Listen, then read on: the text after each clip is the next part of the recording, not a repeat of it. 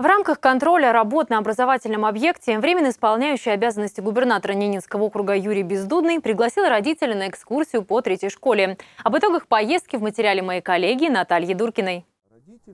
Елена Казакова – одна из активисток от родительского состава. И ее сын Константин перешел в шестой класс. Новый учебный год он встретит в новом здании школы. Мы два года, наверное, готовились к этому. Мы каждый раз приезжали, отслеживали все этапы строительства и с радостью отмечали какие цветные краски.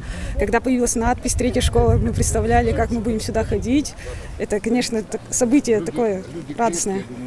Ознакомительную экскурсию для родителей и представителей власти провели по секторам начальной и старшей школы. Посмотрели два спортивных зала, оценили масштабы актового зала и яркой столовой. Посетили компьютерные классы и другие учебные помещения. Помимо того, что вы видите, это огромные площади, да, современное оборудование, а, в рамках этой школы у нас, в рамках этого здания у нас реализуется несколько национальных проектов региональных проектов, нацпроекта образования. Это, соответственно, современная школа в рамках создания здесь точек роста, которую мы с вами сегодня видели.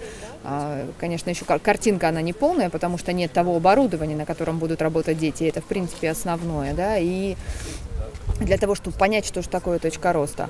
А, и, значит, здесь реализуется национальный проект, э, региональный проект, это цифровая образовательная среда, и э, успех каждого ребенка э, тоже, соответственно, здесь. Здесь будет у нас на базе этой школы «Сириус» и Центр развития одаренных детей.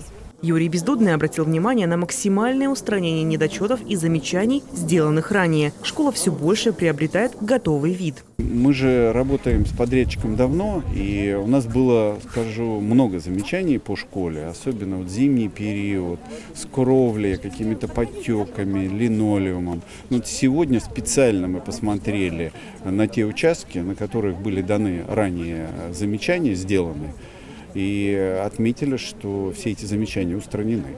После ознакомительной экскурсии у родителей накопилось много вопросов. Они касались в первую очередь проезда к образовательной организации, так как теперь территориально здание находится относительно далеко от места жительства. Другие вопросы касались увеличения штата сотрудников и других аспектов учебного процесса. Очень дельные предложения, все их отработаем. То есть э, вот этот э, совместный проход по школе показал, что вот такое общение с родителями, оно позволяет увидеть то, что мы до этого не видели. Добавлю, такую традицию совместного контроля с общественностью Юрий Бездудный предложил поддержать своему профильному заместителю в сфере образования и культуры. Наталья Дургина, Дмитрий Лукевич, телеканал «Север».